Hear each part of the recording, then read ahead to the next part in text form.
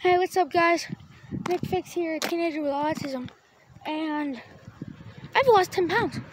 Like, I was on the scale the other day and I lost 10 pounds. Like, seriously, 10, 1 0.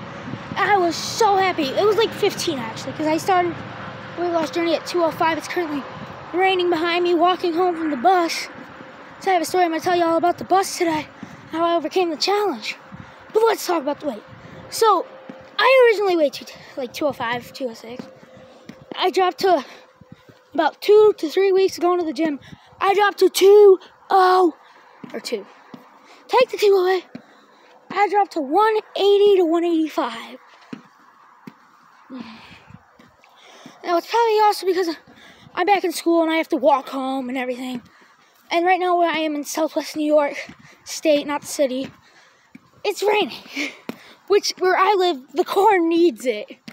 Like the farmers, the corn needs it. Got the boots on, but the corn needs it. The hat today is the axe and sledge ball cap. But like I was saying, the corn seriously needs it. Anyways, topic of the bus. So I transfer buses and everything went fine. I get on my bus, we're heading down the road. First, non-named bus driver misses somebody's stop. That's first. You know? Everybody's chilling still at this point. Like, he turns around just uh, backs up. We get it going. Second, we're driving. We're getting close to where I'm, like, my house area. He slams on the brakes. No, this is something he may not or may normally do. I don't know. But he slams on the brake and almost everybody goes forward and hits their seat.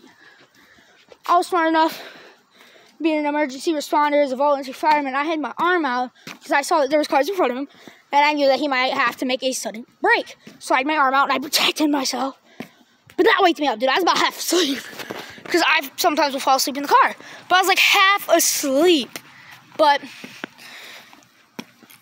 that's a challenge, and how you can overcome that is if you know somebody's gonna slam on the brakes, put your arm out on something by you, and just you lean onto your arm, and your arm will stop you, and you can push yourself back up very easily.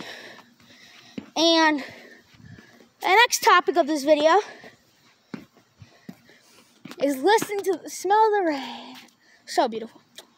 Oh, the smell of the rain helps corn grow. You ever eat corn cab?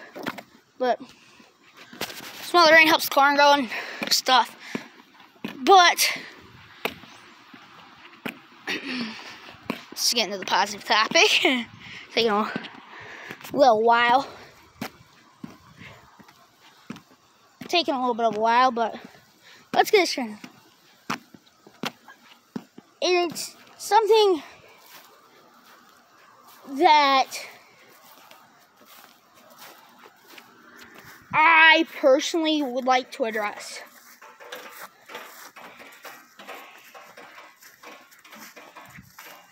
And that is positivity.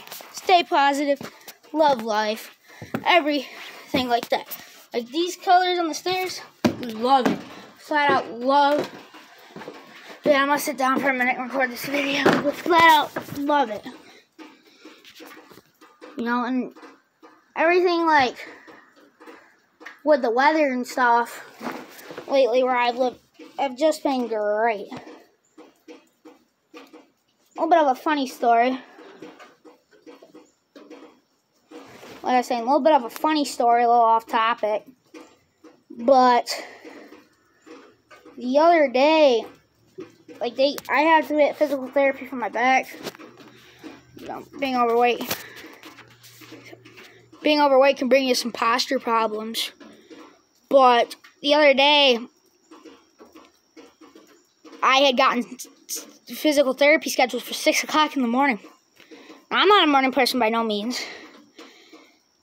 So I wake up. I'm not planning on going. And this day I got canceled because I woke up at 6.